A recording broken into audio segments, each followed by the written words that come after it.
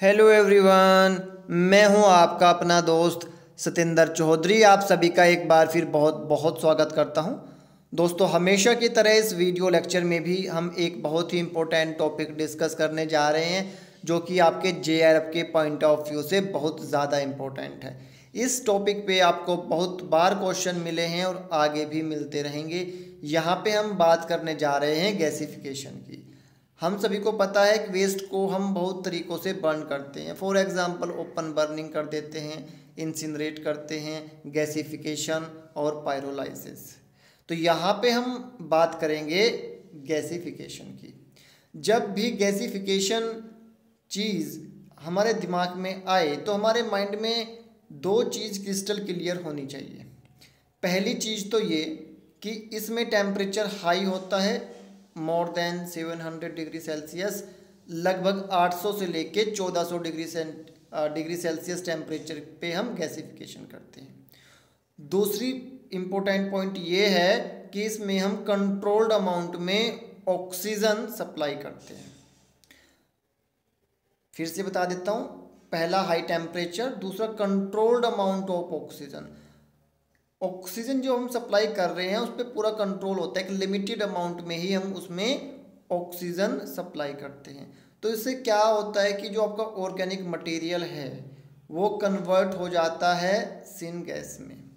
Basically C O hydrogen और कुछ amount में सी ओ टू मेनली क्या होगा सी ओ और hydrogen C O carbon monoxide और हाइड्रोजन दोनों को हम क्या कहते हैं? सिन गैस कहते हैं। इसमें कुछ अमाउंट में सी ओ टू डेफिनेटली होगा और कुछ वेपर्स भी इसमें मिल सकते हैं आपको वाटर वेपर्स बट बेसिकली अगर कोई पूछे सिन गैस क्या होती है तो सी ओ और सी ओ टू ये एक इंटरमीडिएट प्रोडक्ट है सिंथेटिक नेचुरल गैस प्रोडक्शन में। इसका पहले बहुत एप्लीकेशन था, अब धीरे धीरे और भी बढ़ गया है। जैसे जैसे एक इंडस्ट्री अपने वेस्ट को अपनी साइट पे ही मैनेज करने की सोचती है वैसे वैसे वो अल्टरनेटिव ढूंढती है। पहले तो आपका सिन गैस से एनर्जी प्रोड्यूस करते थे। अब उससे और भी चीज़ें बनानी शुरू कर दी, ठीक है? लाइक आपका बायो इथेनॉल में इसका यूज़ हो रहा है बायोकेमिकल प्लास्टिक बहुत सारे ऐसे प्रोसेस हैं जिसमें आपका सिन गैस का यूज़ धीरे धीरे हो रहा है। Different different research and development project चल रही हैं इंडस्ट्री के कि कैसे अपनी वेस्ट से निकलने वाली चीज़ों को हम यूज़ कर सकें, जिससे कि वेस्ट जो है वो सरदर्दी ना बने, उससे कहीं ना कहीं इंडस्ट्री का बेनिफिट हो। इसके अलावा इस पूरे प्रोसेस में ऐश जनरेट होती है स्लैग जनरेट होती है, जिसको मिनरल रेजिड्यू भी हम कहते हैं। तो कंबशन एक अलग प्रोसेस होता है। गैसिफिकेशन एक अलग प्रोसेस होता है। दोनों में कभी भी कन्फ्यूज़न आपने क्रिएट नहीं करना है। अगर मैं आपसे ये पूछूँ कि भाई कमर्शन में कौन से मेन प्रोडक्ट होंगे तो आपका जवाब क्या आना चाहिए? ठीक है, मुझे बताना है आपने।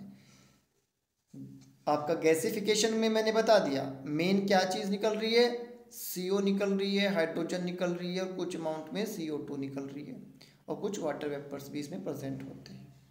इसको सिन गैस बोलते हैं और इसी के प्रोडक्शन के लिए गैसिफिकेशन किया जाता है।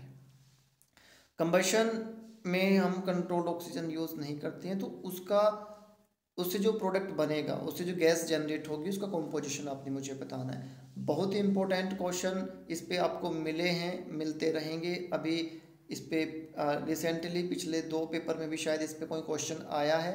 बड़े ध्यान से आपने एक एक चीज़ को नोट करके दोस्तों याद करना है। गैसिफिकेशन में क्या हो रहा है? High temperature controlled amount of oxygen बन क्या रहा है? सीओ हाइड्रोजन कुछ अमाउंट में C O two water vapour क्या बोलते हैं? सिन गैस बोलते हैं। मेन यूज़ कहाँ पे हो रहा है? इसको एनर्जी इक्विपमेंट में हम यूज़ कर रहे हैं लाइक बॉयलर वगैरह में इसे एनर्जी प्रोड्यूस करने के लिए। इसके अलावा इसके बहुत सारे और इंडस्ट्रियल यूजेस हैं।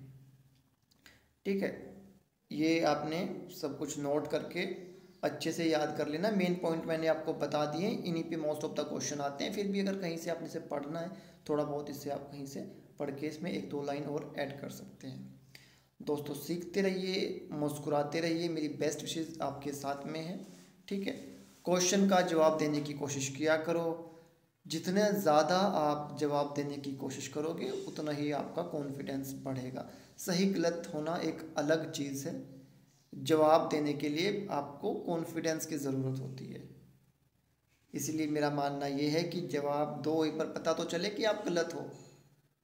जब जब आपको ये पता चलता है कि आप गलत हो, आपको ठीक होने की ज़रूरत है तो आप चीज़ें रेटिफाई करते हो। ठीक है दोस्तों? Thank you